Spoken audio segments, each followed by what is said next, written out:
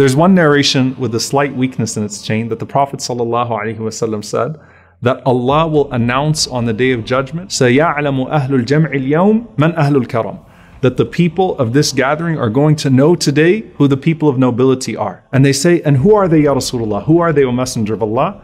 And he said, fil Majalis. Those people who are distinguished by their remembrance of Allah subhanahu wa ta'ala.